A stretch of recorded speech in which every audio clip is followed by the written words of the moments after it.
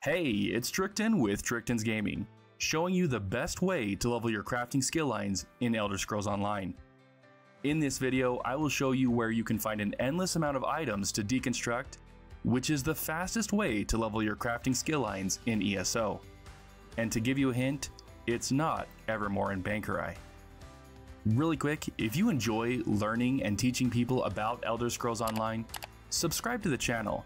And if this video helps you, give the video a like so hopefully it can help someone else too. Now let's get into it. As I mentioned earlier in this video, when it comes to leveling your crafting skill lines, the best way to get inspiration is by deconstructing items such as armor and weapons.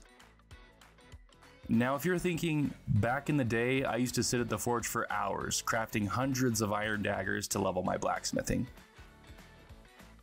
Yes, while crafting items does provide some inspiration, you can get even more inspiration from deconstructing placed items. So in order to start deconstructing items, we first need to travel to a spot with an unlimited number of weapons and armor to deconstruct. Instead, you should travel to Velyn Harbor in Malabal Tor. Velyn Harbor is a town that is under siege by warriors and orcs.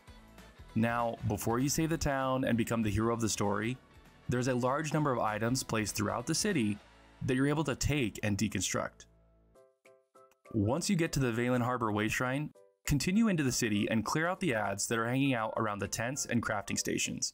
Once everything is clear, you will notice a large amount of items sitting on the tables ripe for the picking.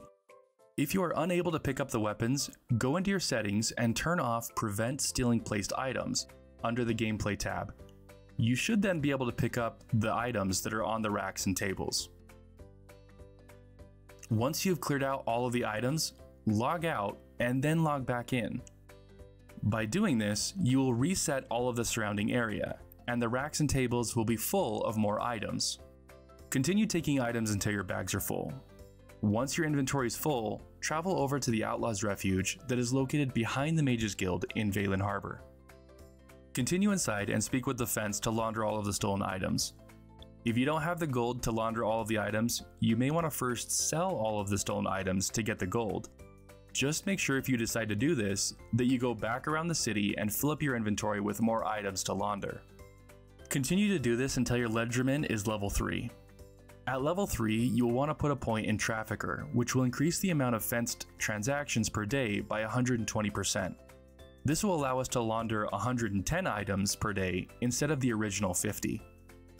Once you have finished fencing all of the stolen items, continue over to the crafting stations. Before we start deconstructing everything, you want to check two things. The first is to make sure that you have 45 champion points in the Inspiration Boost skill tree. This will increase the amount of inspiration we receive when deconstructing items. The second is to put 50 points in Meticulous Disassembly, this will increase the chances of us getting materials back after we deconstruct items. Now that that's done, start deconstructing items until you hit level 4 on any of the crafting skill lines. At level 4, you'll want to put points into the extraction skill line, which is like meticulous disassembly, in which we will increase the chances of us getting items back after deconstructing other items. Once you have points in those, continue deconstructing. When you run out of things to deconstruct, travel back to the Velyn Harbor and continue filling up your bags with items. Unfortunately, once you have reached the limit for your fence transactions for the day, you will need to wait until it resets, as deconstructing stolen items does not give the same amount of XP that normal items do. Once the fence has reset, continue filling up your bags and laundering the stolen items. Once the items are laundered, deconstruct them. Do this until you hit level 8 on your Legerdemain.